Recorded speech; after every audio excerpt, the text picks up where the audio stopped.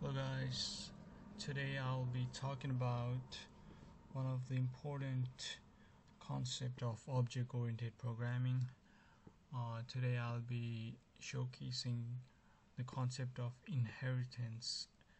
The concept speaks for itself.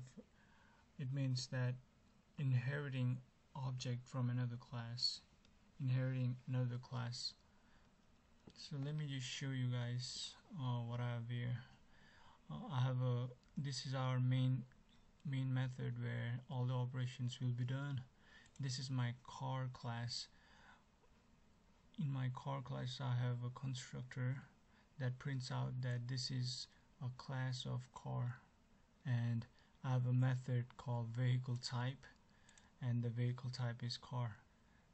The second class that I have is Honda. So the process of inheritance is showcases here. I have a class called Honda and this is the term that you need to use to inherit object from another class. So I have Honda that extends this car class.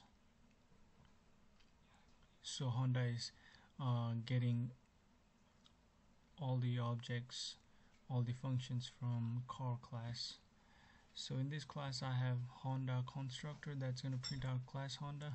I have a brand method that that prints brand is Honda and I have a speed that prints out that max is 120 miles per hour. And the last class that I have is Honda CRV and the Honda CRV is going to extend Honda. So this is like a layer of layer of structure three different classes that's being extended. So I have Honda CRV which is also called child class or subclass that's gonna extend Honda. And these are usually referred to as superclass or parent class.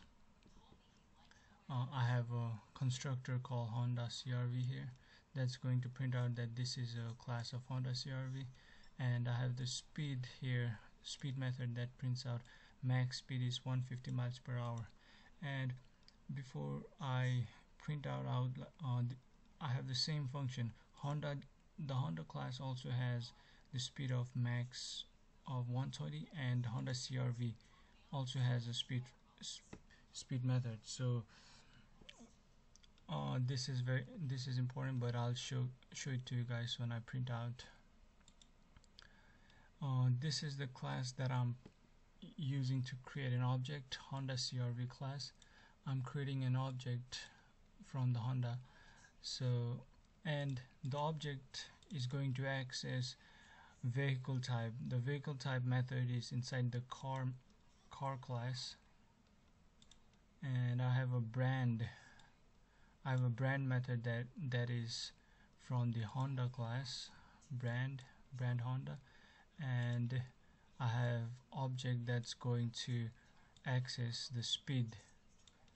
The speed function the speed method is uh, being override uh, the CRV Honda CRV also has the speed method and Honda Java also has a speed method.